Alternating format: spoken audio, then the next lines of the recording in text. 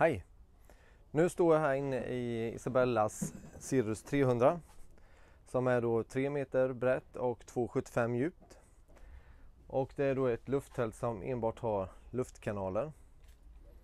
Och de här luftkanalerna kan man eh, stänga av på ett enkelt sätt genom att vrida de här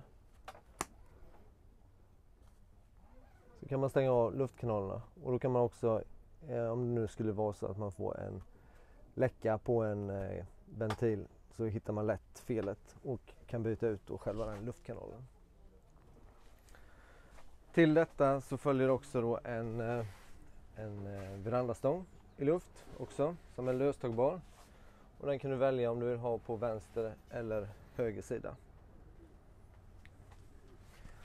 Så gå in på Isabellas hemsida och läs mer om Isabellas lufttält.